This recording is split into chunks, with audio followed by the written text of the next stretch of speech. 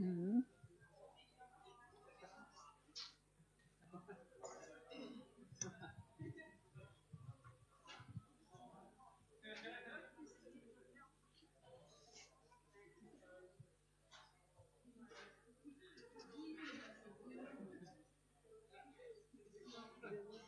Filming is, they're not yet busy with the film. Uh, they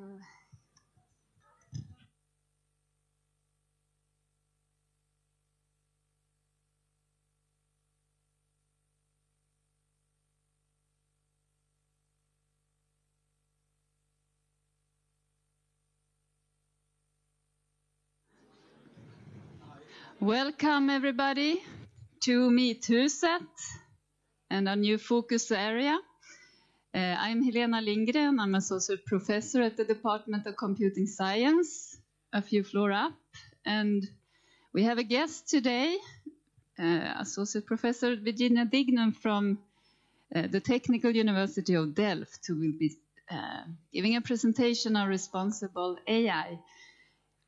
And since we take this opportunity also to collect all of you and tell a bit about what Umeå University is up to at the moment. We, apart from um, being part of the national effort on the Wallenberg Foundation has on autonomous systems and AI and software systems, the WASP uh, program. We are also involved in organizing uh, one of the largest AI conferences in the world. It will take place in Stockholm this summer. So there will be two weeks of full of AI events, machine learning, uh, other kind of AI, autonomous systems, multi-agent systems in two weeks in the summer. We will gather uh, five plus four thousand researchers from the world to Sweden, and Umeå is part organizing that, which we're happy for. And this, you can see this as a pre-event for that, as we're starting like uh, going out strong because we care about the ethics and social aspects of AI. Uh, so Virginia is uh, frequently invited to speak about these things, both at the EU level and in conferences and any place where people care about these things. And I'm happy to Thank give you. the word for you. I'm very happy to be here. Give Thank you very much. applause.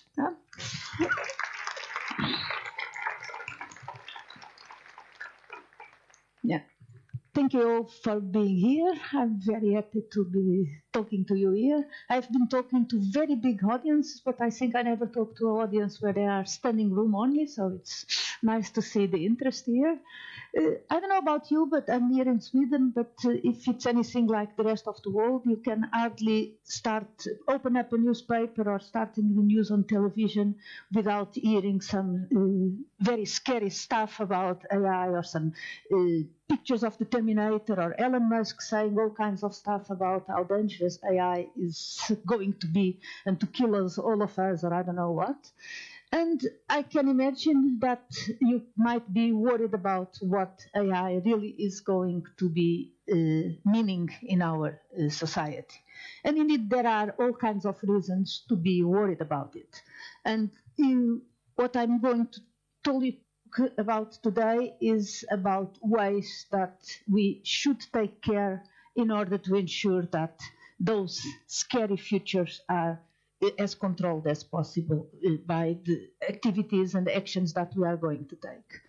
Uh, like Elena says, uh, this is an effort where I've been involved like for the last two years. Uh, basically, it's all the time that people really have been uh, actively taking steps to uh, talking and to discussing the issues of the ethical and the societal impact of artificial intelligence systems. And in many cases, uh, when we think about artificial intelligence, we think mostly about those systems which are uh, uh, learning, the machine learning systems, deep learning, all those kind of issues uh, come up. And indeed, that's one of the important parts of AI, that we build artifacts, we build artificial systems which are uh, able to learn and therefore to adapt to all kinds of circumstances. But that's only one of the aspects which are uh, studied and developed in uh, artificial intelligence uh, research. and it's also not the issue which is, let's say, the most scary. The, what can scare us or what can be worrying for us is that those systems which are going to learn and to adapt to our uh, environment are going to do that autonomously and moreover they are going to interact with us in all kinds of possible uh, and in, uh, ways. So when we combine learning systems which are autonomous and interact in the same world as we are then we can indeed uh, wonder whether that is going to be something we really uh, want and that we are really going to be able to control and to um, to really uh, make to sure, ensure that these type of systems are there to be of benefit for us as people and uh, for the environment as well. So we should probably really, uh, why should we care about this type of system? So like I say, uh, they are going to act, act, autonomously, and probably you just all heard this week that self uh, self-driving car from Uber, who unfortunately killed someone in uh, in the roads. No one was telling how many other people were killed in the same day in the roads, which were not killed by a self-driving car, but indeed. Uh, we can expect some profits, but we have to worry about the those issues. So they are going to act autonomously, and the control that we have over those systems can be quite different than what we have now. And the whole idea is that why we are doing this, because we want to have systems which, in whatever direction or whatever application they are, they are going to do things better than what we can do it. But of course, the question here is what is better? And there are many ways to define better, and there are a lot of work being done about what do we mean by developing systems that are better than us, and what does does that mean that whether they are when they are better in some applications and some contexts, will they really become better in everything and anything, and creating all those ideas of super intelligent systems which will uh, take over in all all aspects of life. So if this is the setup in which we are looking at then as we develop these systems, and this is an idea, so we are designing these systems. That's what we have to remember. It's not happening to us. We, as society, as researchers, as governments, as users, are designing and developing and using these systems. They are not just coming from thin air and appearing. It's an artifact that we are building. And because we are concerned about how the artifact and how the issues are, uh, th these kind of issues, then we want to make sure that as we design these systems, we have to put the purpose, to design the purpose of these systems is the purpose that we really want. And this is something which is not new. It's something which uh, Norbert Wiener already said in 1960, even around the same time that AI appeared. And it's actually something which we even know from much before. I suppose you all know the story of King, King, King Midas. Yeah, King Midas wished to some intelligent entity that he, everything he would touch would turn into gold. And uh, abstractly, looking at that abstractly seems like a good idea. The guy would get very rich. But it was really taken literally by the machine. And indeed, everything he touched, including his food, his family, whatever, everything turned into gold, which was not exactly the purpose. So we have to be really very careful, especially because machines are not able to understand the nuances and are not really able to understand, yeah, you say I want everything turning into gold, but of course I'm not meaning the food or my wife or whatever, that we make those purposes very clear. And that is our responsibility. It's not the responsibility of the system to decide what we care about. So just to give you a very short motivation, it's not a project I was, was involved, but some colleagues of mine, and I know that some of you are, here are working on um, systems which are meant to help in all kinds of healthcare situations. In this case, is about a system which would help elderly people living longer at home, which is something which I suppose here in Sweden is also an issue, to support independent live, living as long as possible in a way that people are really uh, being taken care of, but they don't really have to go move into elderly homes and so on. So this is the concept of the smart fork. The smart fork would help this guy uh, ensure that what he's eating is uh, what the kind of things that he should be eating, because probably he might have some health issues which doesn't allow him to eat uh, bacon and eggs and all kinds of fat stuff. So the smart fork should be helping him. And I'm just going to see if this would work. Uh, I don't know. Yeah. all areas except for So. As he That's hits, not one that's- eight double O, Yeah. Salt is going up, so you keep information about oh, what he's doing. You don't really have to know what he's 250 saying. miles How many calories is eating? So we are mentioning South everything. And Sunday. you getting information. You are eating plenty of salt. and uh, you, get, you help him in all kinds of ways. So you already ate too much fat and all that kind of thing. So we are really trying to help the guy to create a healthy uh, environment. Probably it was meant uh, by whoever did it in the very best of the intentions, but uh, the intentions or the purpose that some of us think it should be the system, like King Midas, is not exactly what everybody would think. So now we see here our big guy with his smart fork. we can see area Shannon moving slowly eastwards and south. Sorry, that should be low. Yeah. So the the system is fine, the guy is fine, everybody's happy. But we somehow miss the purpose of the whole thing.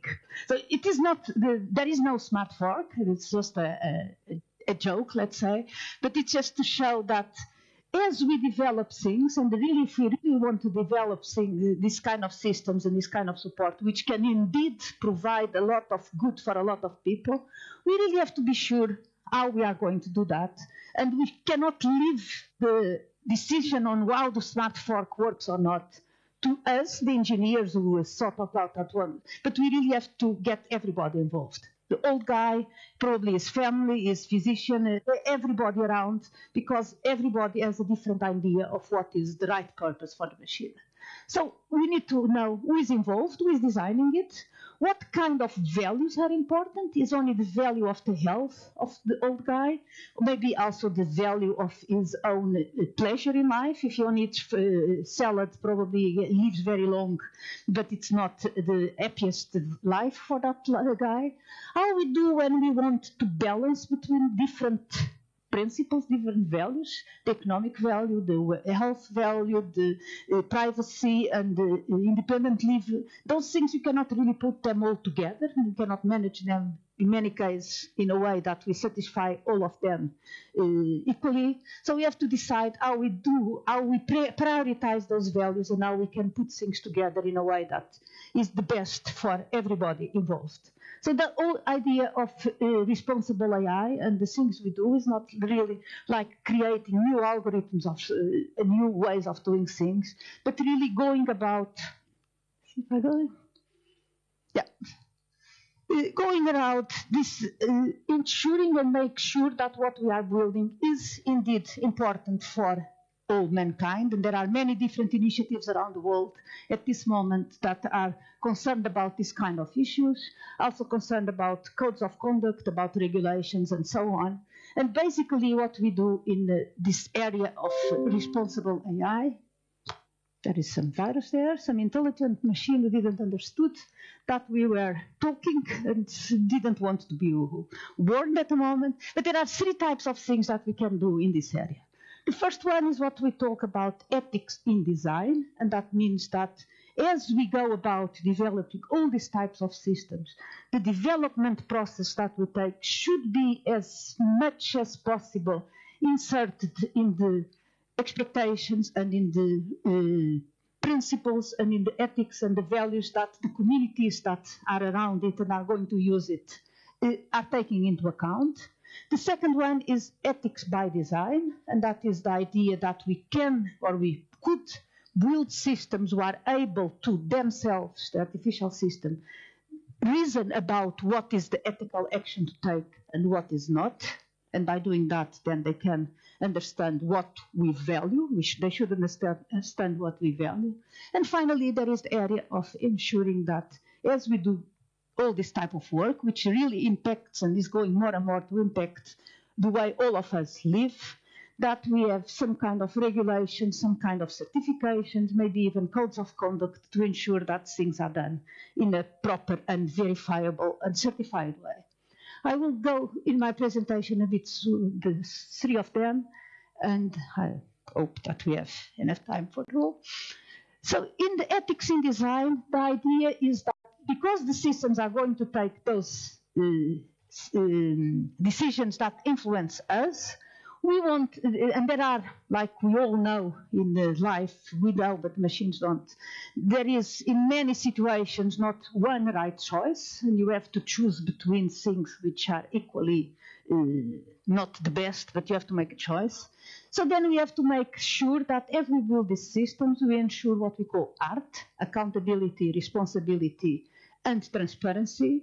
And the idea on accountability is that we don't really know exactly how those systems should function. And it will be less and less likely than any of us, including the ones who know about artificial intelligence but are not really directly involved in a specific system, will get more and more difficult to understand what those systems do.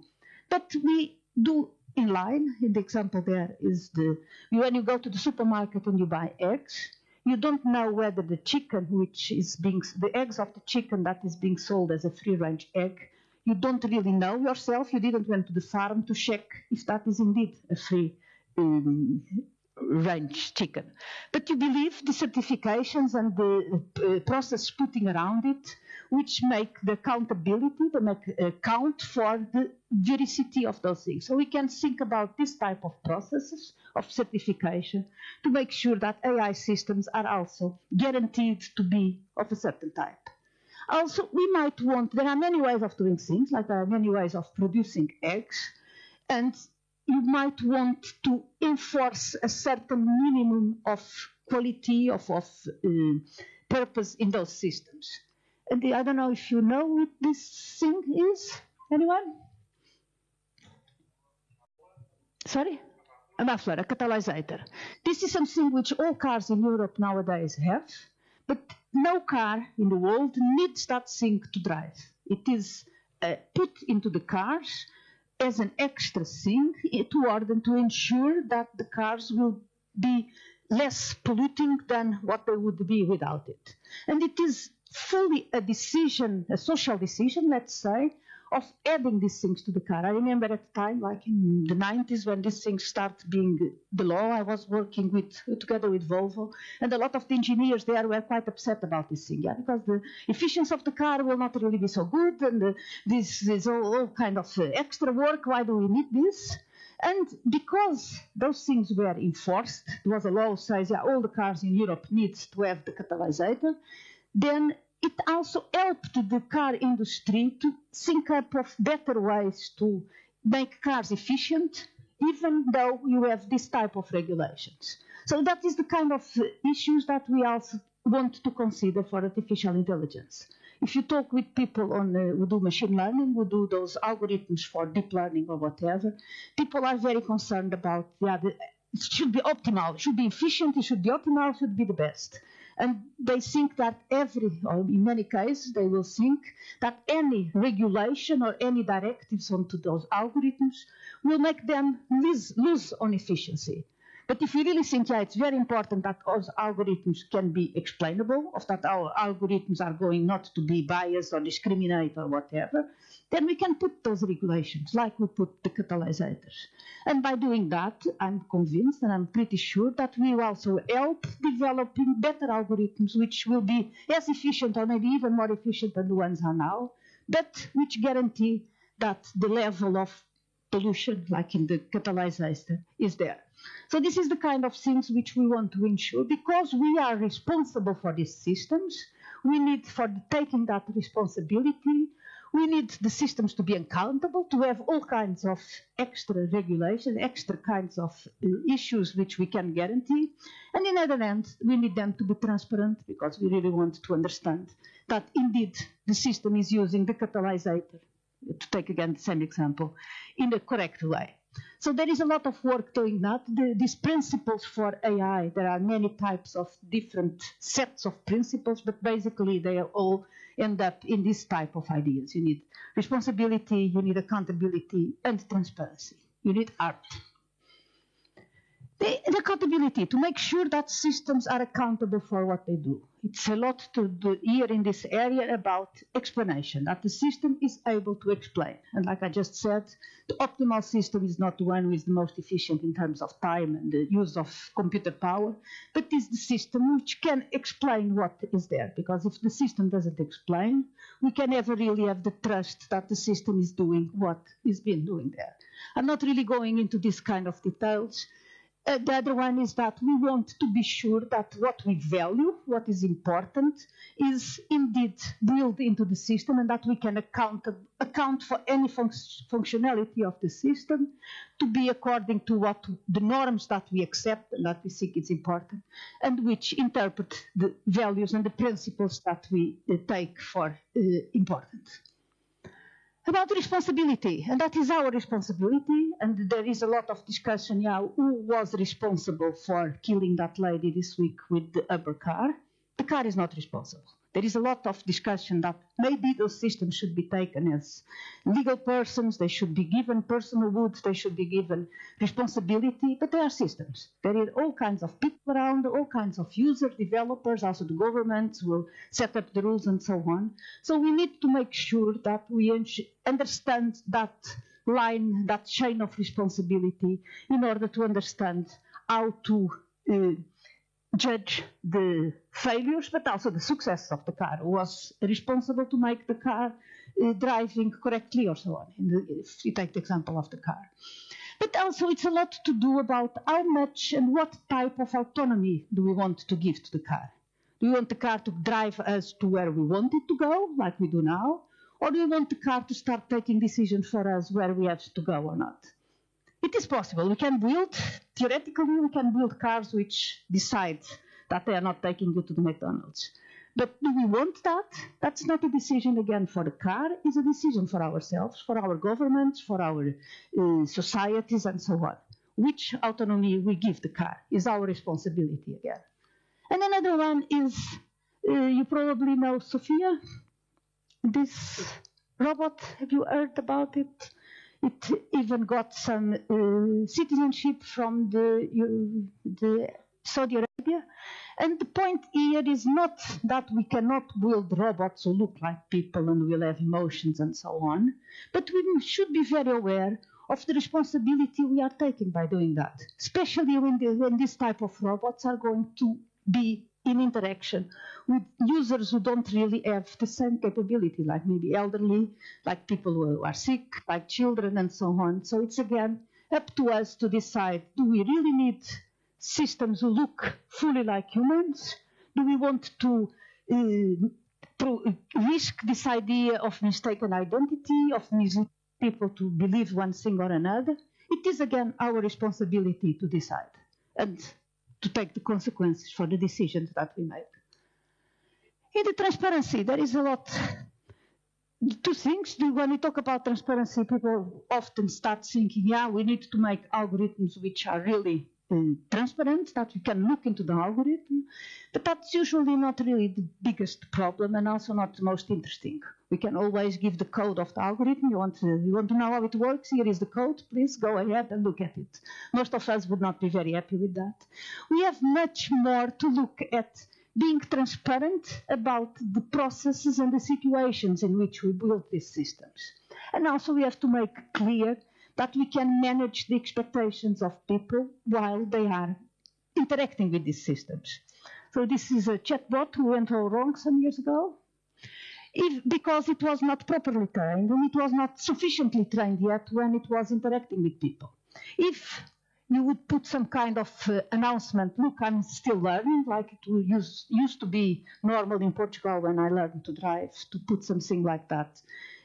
For the new drivers, that other drivers would understand that that one is a new one, then you would have another type of expectations of the algorithm you would say, okay, it's, uh, it's like a kid, it's still learning and uh, well, might make mistakes, might, might say stupid things, but it's learning, so let's help this thing learn as best as possible. So that's one way. And the other one is about, not so much about the, the algorithms, like I say, but to be sure that we understand what data are we using there. And if, you, if we are open and transparent about the type of data that we are using for the algorithms to, to be trained and to be used, we solve very simply, or at least sim- more simply, the, many of the problems which are related to the transparency of the algorithms. And as we are talking about data, it is often nowadays the idea that uh, data is the new oil, and that we have to be sure, and that is you see all over the world, from governments to organizations to companies, we have to be, be sure that we collect all the data that we can collect, and more data the better. And we all know what we did for wrong to our planet by uh, the way we dealt with oil. So I would say that we should be conscious to deal or to think about data like oil because we might get into the same kind of problems. By the way, data is nowadays one of the largest users of energy in the world. To keep data, we need huge data farms, like they call it, and they are really very big. And those things use an incredible amount of energy. So if you know about bitcoins, I believe that to uh, mine bitcoins you use more energy than what the city of New York uses. And there is a Google has a farm, a data farm north of the Netherlands, which uses more energy than all of that province in which that thing is. So we are already with hoarding data, we are already uh, affecting our planet in probably ways that we don't want. And moreover, because we are keeping all that data, we are being responsible for that. Then we'll have all the issues of privacy, of security, of people which are using the data like Facebook and uh, Cambridge Analytica for things which we don't want.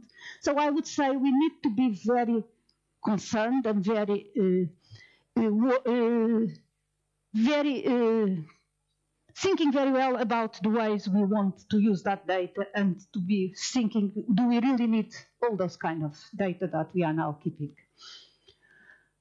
Uh, so basically, this being responsible is all art of AI is about making choices and being explicit about those choices and make clear that what we do is uh, documented, is regulated, and basically this is not really much more than what software engineering is about. Let's be consistent and coherent and document all the choices that we make.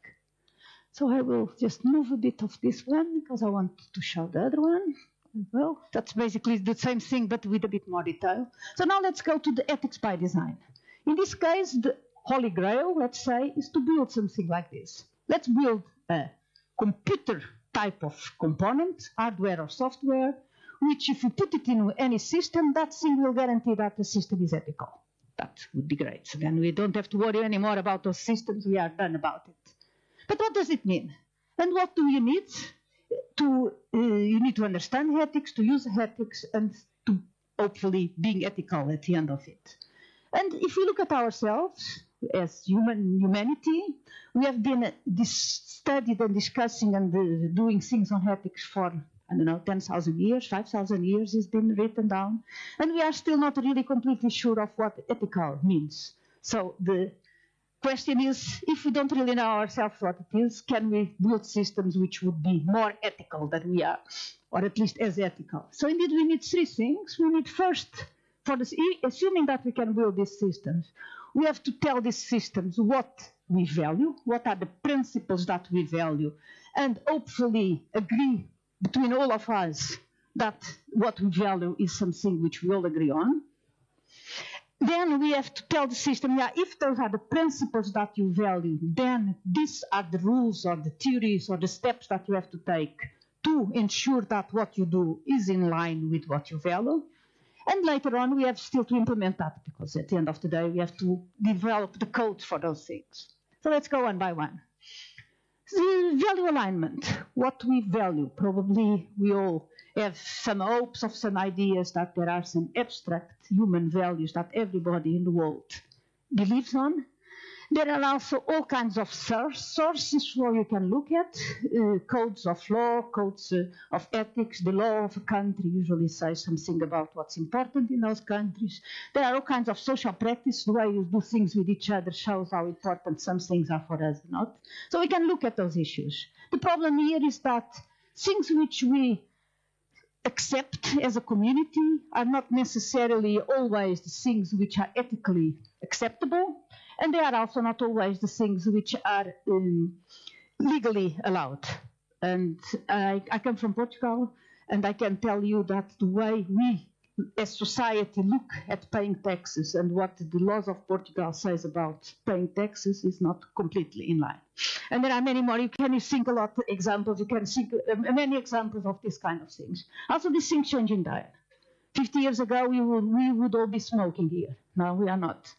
200 years ago, we would have some uh, uh, capital pe- uh, penalty and things like that, and we would accept that as being normal. So those things change. So it's very difficult to come up with a value that we all agree on. And what we do in countries, because that's something which in society is the case, we have elections, and we ask people to tell us, yeah, this is what we what what's important for you. We aggregate that all, and then we decide. So the ones who the things which the most people agree on are the things which we follow up as a country. Not always with the best of the results, but uh, that's another uh, issue. But what we are doing now is try to use this type of ideas, the idea of aggregating what people believe is the most important, to build systems which would then use that as their ethical behavior. I don't know if you ever saw this picture. This is a study done by the MIT in the United States, in which what they want to know is to ask people what should the self-driving car in top do in a situation oops, where it cannot anymore deviate, or it cannot anymore stop, and it's going to have an accident. What should this car do? Should it go straight or should it take the decision to go to the side? And they have asked this to, I believe, 40 million people, or 40 million times have been answered. And the idea would be you can aggregate that all, and we have some kind of ethics by crowdsourcing. Most people think it should go straight or they could go to the side. Then we take those type of decisions. And I can guarantee you that in this room that there are people who think it should go straight and people who think it should go to the side. It's always the case. And there are all kinds of issues here. If you look carefully at the picture, there are more people in the road than in the car, but the people in the road are crossing with a red light, which in some countries is kind of a capital pen, uh, penalty almost.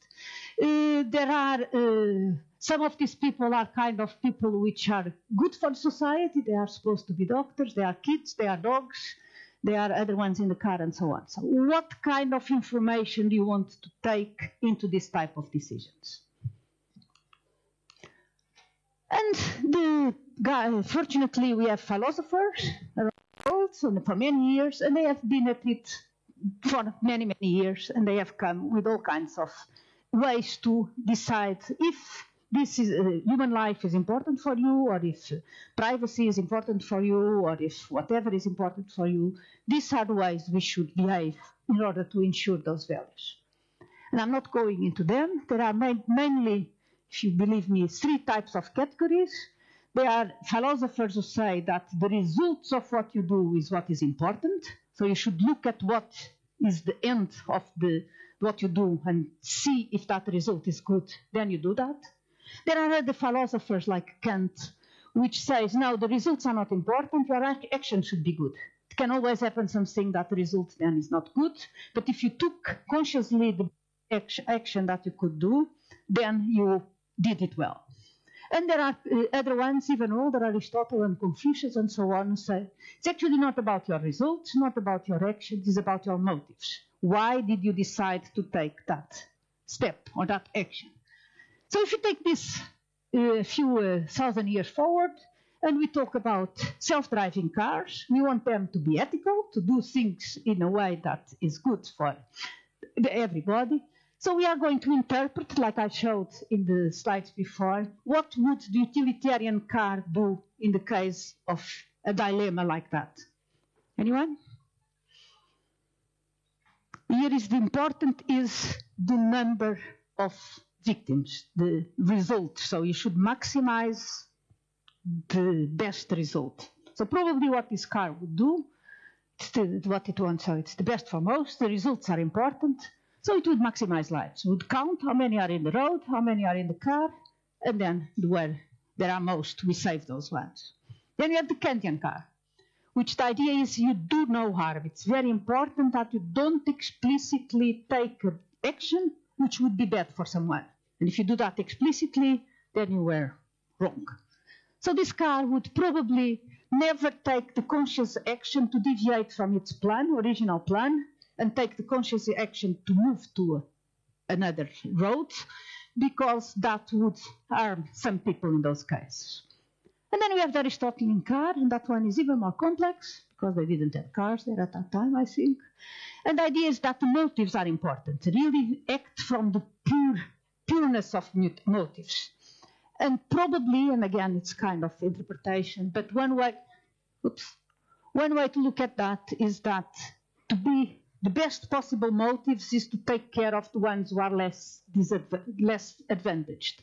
And in this case, probably would be the pedestrians because they are not protected by nothing.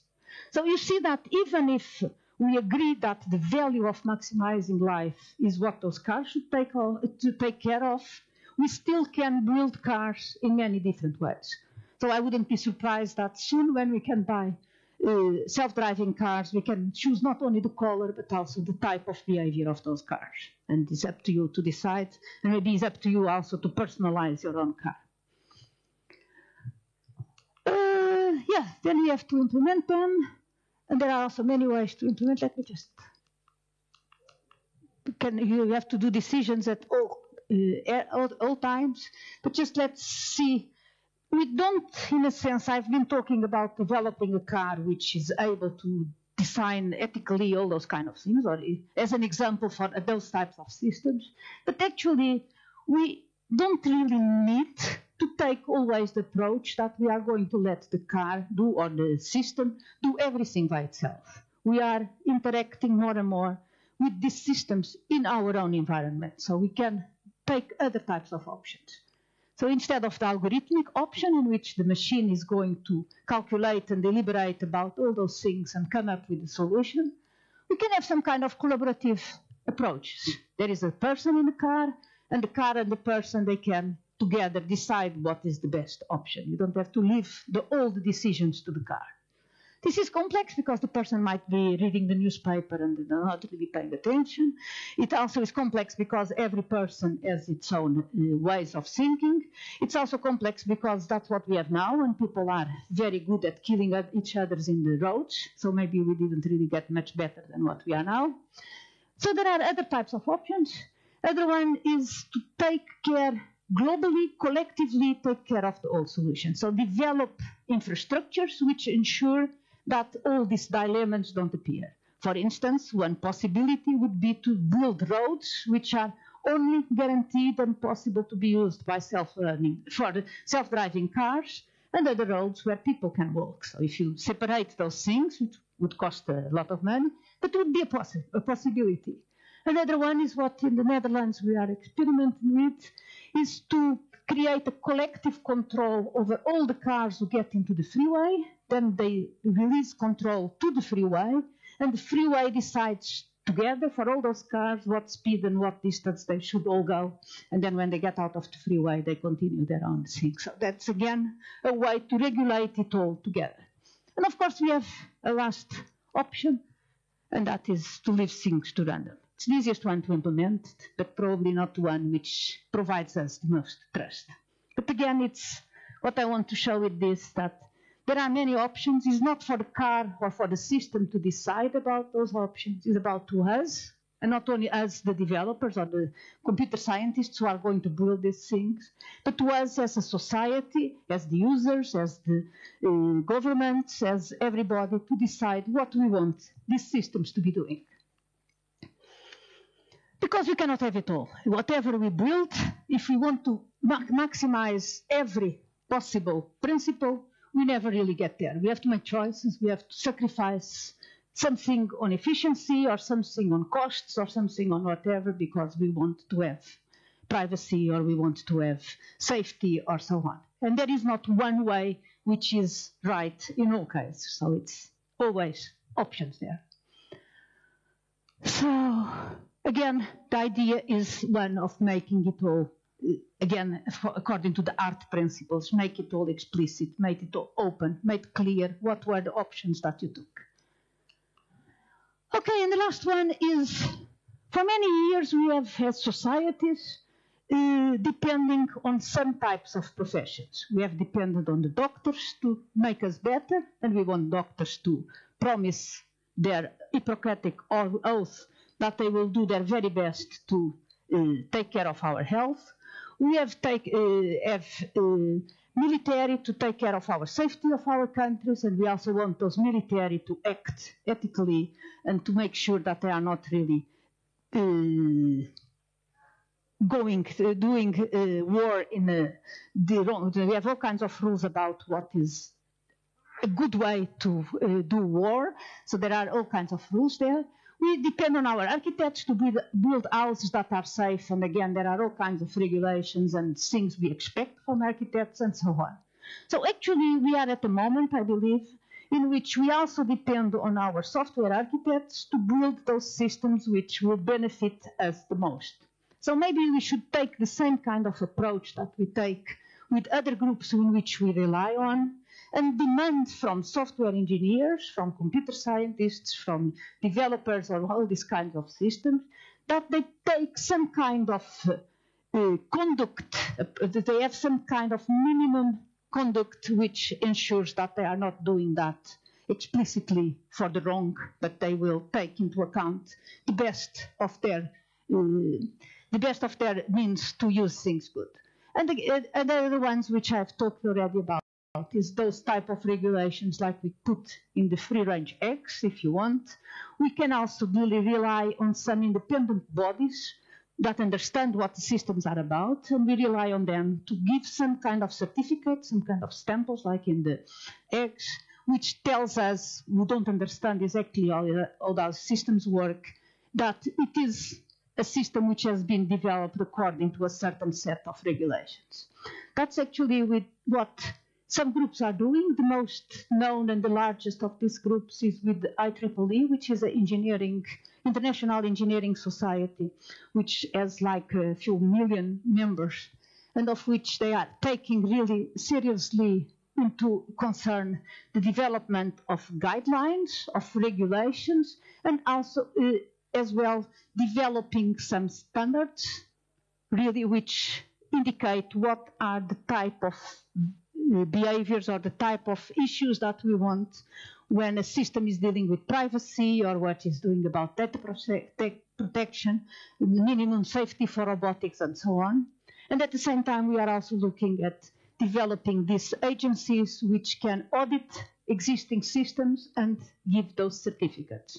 So there are uh, also in this type of more regulatory and auditing thing, all kinds of initiatives happening in order to ensure that if we are not going to be able to build those systems which are super ethical and will do solve it all themselves, and if we are taking all kinds of choices as we go, and some choices might be better for one thing and not so good for another, that we have other ways to align the design with the ethics that we want and to verify those kind of things. So basically what the idea of this talk is, and I think I'm quite on time, is that uh, AI is influencing our lives already now, and it will influence it much more. And it's not only for the designers, for the developers, for the nerds, if you want, to build those systems and to take all the decisions, but it is for all of us as a society, and especially as governments, as uh, uh, civil, uh, civil society groups, and so on, to decide and to enter the discussion and take a role in the responsibility that we all have for what we want these systems to look and what we want these systems to do for us. Because knowing ethics is not being ethical, is not for us, and also definitely not for the systems. And we need to build systems which take into account the principles that we really believe are important. And that we, we shouldn't forget that we, as society, are building these systems. We are all responsible. Thank you.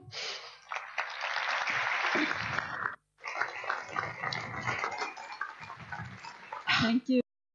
Thank you very much, Virginia. I think we have time for questions. I'm sure you would be interested.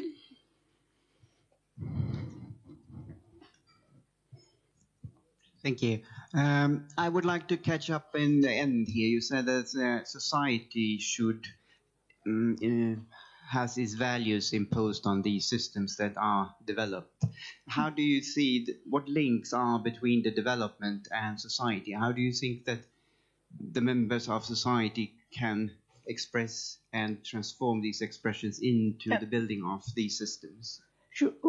Some of the most obvious uh, activity, uh, things taking uh, place in that area is through governments. We, at least here in the West, we elect our governments and we can ask them to take a decision and to take steps on this. Uh, I don't know if I indicate, but at least at European level, they are taking this very seriously. The European Union is coming up with the, the GDPR, which is a regulations concerning the use of uh, uh, data with respect to the privacy of the citizens. So from May on, all uh, people who use data of European citizens have to take into account those rules. Whether the rules are the best or not, it's not really the point because these things are evolving. But it's one of the actions. And also next week I actually will be in Brussels talking with the, the president of the European Commi- Commission, uh, Juncker, and other people there because they really want to come up with a kind of uh, strategy document about what AI and the role of AI in Europe. So that's one way to do it. Another way is also to enter the discussion in all kinds of ways, like here I'm telling you, but uh, there are in many places and in many uh, levels ways to uh, discuss and to uh, participate. Also take actively the choice to use or not to use all kinds of systems, depending on how those and that therefore we need to have that we understand what are the values of those systems, but we all, without any problem, cross the box which tells Google, yeah, please do whatever you want with our data. We just cross it without reading. None of us, I also don't read those things. But then we allow these companies to do with our data whatever we want. If we take a bit more both ways, that Google gives us a bit more, or Facebook gives us a bit more information about what exactly their, plan, their plans are, and in other hand, that we really take active the uh, steps to do it. We don't really travel, or at least most of us don't travel with the airplane from a company which has been blacklisted because we value our safety. We don't want to go in planes of companies which doesn't really uh, are safe enough. But we enter any accord and any uh, steps with uh, digital uh, applications which might be maybe not directly killing us, but indirectly having a lot of influence of what we are doing. So we need to be much more vocal and also much more informed. I think it's one of the biggest issues which we need in this whole responsible AI is ensuring that education takes these things into account, both uh, understanding what is the ethical aspects, and also, but also telling people about what are the effects, possible effects, and also communication. And the, the media has a very important role to do in these things. And maybe if they don't all the time put the pictures of the Terminator on their articles and uh, try to be a bit more engaging in what media is doing, I think those are ways to, to go about it. Thank you. Thank you. We have a question over there also. Yeah. Uh, first of all, thank you for, for a, a, a inspiring and important uh, talk here. Thank you. Um, as as you briefly mentioned, there there have been news just the past week, both of, of both concerning data privacy and, and Cambridge Analytica and, and Mhm. what data is used for, Yeah. and also the the Uber uh, managed car who, who Yeah. ki- killed a, uh woman. Um, so so it seems like we haven't really caught up on the ethics before things have started to go go out out of control now. Yeah. Uh, I, I would just just like to ask, how do you extrapolate this, say, five to ten years time? Do you think we we are catching up, or will will more things seem like they happened before we had really had time to take control? Thank you. Very good question. Indeed, we are maybe not uh, not in top of the happenings, but uh, we are not too late. Definitely not. We would be too late if we would just quit now and say, okay, they are already making all kinds of mess and it's hopeless. We don't do nothing anymore. That's definitely not what we have to do. I think that even in those companies, and I don't know if they are there. uh, One of the many uh, activities and groups that are working on this are is a group which is started by those very large companies, so they are very well aware of the impact of what they are doing.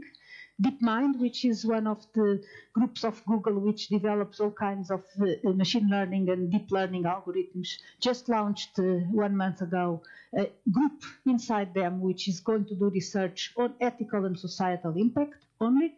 And uh, another of those groups, which is called the Partnership on AI, is started by those companies exactly because they know that they have some responsibility in what they are doing. It's kind of a self regulating group, but there are other groups involved there. So we are definitely not too late, and we have definitely, but we need to keep uh, in the race and keep uh, ensuring that the, the dialogue and the uh, evolution goes with those systems. Of course, we cannot expect no system, no technology to be full, fully uh, safe. Always things will happen wrong. Things will be uh, out of our control by all kinds of situations. But we do need to make sure to we indicate what is the minimum of safety or the minimum of uh, uh, whatever values that we want those technologies to take on, take into account. I think there was Um, I wanted to ask um, about the government um, because, I mean, I think we've seen in the U.S. government or in China that they kind of um, step on the ethical part in order to manage um the big data or the data that they have about their citizens and all. So I I kind of wonder how AI as uh, or the the responsible AI kind of um, intertwine with the ethics of each government. Like, Yep. Probably. Uh, yes, indeed. I talk here as a European in Europe. Uh, Europe is in this kind of things traditionally really the place in the world where ethics and responsibility and all those kind of issues are important, are part of our identity as Europeans. And it's something like you see, like this GDPR, it's only done in uh, Europe for now. But by doing it in Europe, this uh, GD- GDPR is the regulations about data privacy, which will start in May. And by doing that in Europe, we are also demanding from other countries, and I know that the most work being done at this moment in ensuring compliance with GDPR regulations is not in Europe, is in the United States, because they want to make sure that they can still be dealing with European citizens and European uh, system. So Facebook has a huge group of people working just on ensuring that whatever they are doing is compliant to GDPR. Of course, uh, like I just said, machines it will, will never be faultless. People are also never faultless, and there are governments which are more or less faultless. But by because some of them are maybe not so ethical, doesn't mean that we cannot try to take into account the ethics. And maybe by doing it somewhere, uh, we help other governments to realize that they can do things differently. We can just hope. Uh, Thank you. Yeah. Uh, This is perhaps more of a technical question. I'm sorry I couldn't make the technical seminar yesterday. Yeah. Uh, But uh, isn't there a serious danger that, uh, while it might seem we have bought, uh, built an AI that properly optimizes for human values, it may in reality just optimize for a sort of proxy function that, that very closely correlates with what we want within this search space. But as its capabilities grows and its knowledge grows, it, it searches a larger space and finds an optimum we don't like. Yeah. Like for example, it wants to make people happy, makes people happy, then starts injecting people with heroin. Yeah. Naive example, but, but you get the point. Yeah. That's the typical story of the paperclip factory by Nick Bostrom, indeed. So there are those dangers. And again, that's what why I say that we have to be explicit at all levels. We have to make all these choices and all these links, also the the translation functions that we make between happiness and some code, we have to make all those things very explicit. Because, of course, the machine might start doing things differently, or we might change our minds. What means happy today is maybe not what means happy in uh, 100 years' time. So we need to make sure that we are able to inspect and to that make everything documented and explicit of what we have made. Maybe it doesn't really solve all the problems, but at least will help us understand what's going wrong with a certain system and possibly turn it, push it to the other direction that we think more appropriate. But there is a lot of uh, research to be done on this. There are uh, kind of abstract ideas and abstract plans, but really get down to the nitty gritty of these kind of issues. It will be a lot of research needs to be done. Uh, thank you for a good talk today. Um, so this is basically related to that question, mm-hmm. I guess. And what you answered now, what uh, where the paperclip factor is a good example, where where we need to be able to uh, look at values on all different levels. But it might be a technical question as well. But mm-hmm. explainable AI is that the only future where uh, where we can achieve uh, sort of this uh, where we have uh, values uh, that we can check on all different levels or could it be that we have sort of systems as we have today where where we have machine learning models that we don't really know exactly how they work but they seem to produce good results? Yeah i didn't talk about this today but uh, yesterday i hinted at that. Indeed we i don't really think we are uh, going to need to explain all the algorithms as long as we can guarantee, and by guarantees I mean mathematically, mathematically guarantee that whatever algorithms we are building are provable within a certain type of uh, behavior. So there is work being done, uh, notably by Stuart Russell in uh, Berkeley, about provably beneficial beneficial AI, in which he really is building this type of verification and validation mechanisms, which don't really look only at the the type of algorithms, but at the effects of those algorithms. And then you can prove that those effects are within some kind of limits. So that's also a way to, to go forward. But like I say, there are many more questions than answers at this moment. So none of you are working on AI has to be afraid of getting out of ideas and of problems to research in the coming, I don't know, 100 years probably.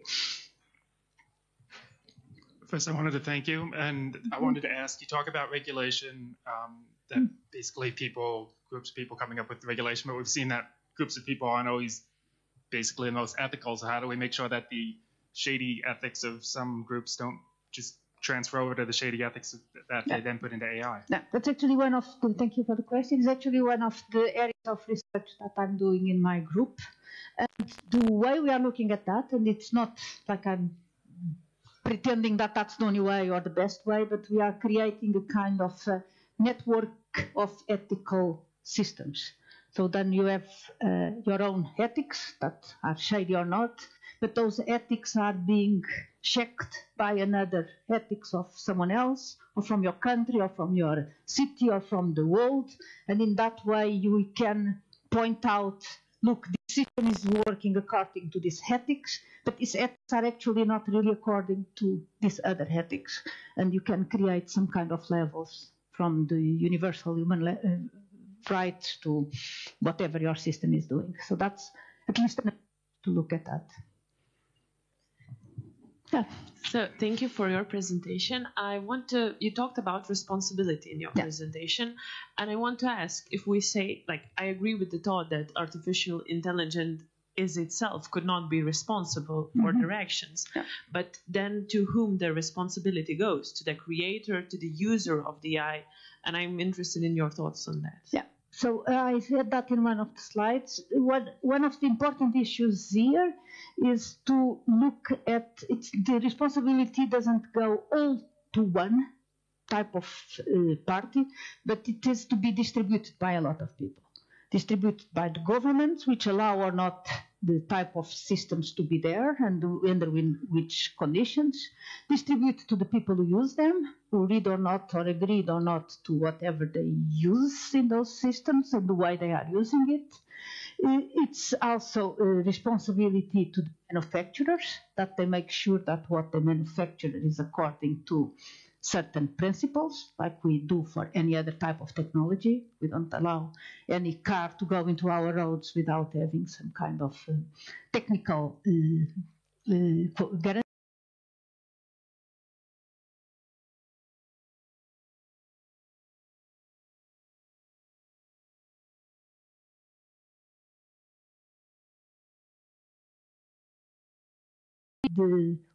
Ways in which we can create a chain of responsibility by all the different parties involved and including all the, the context in which that system is involved.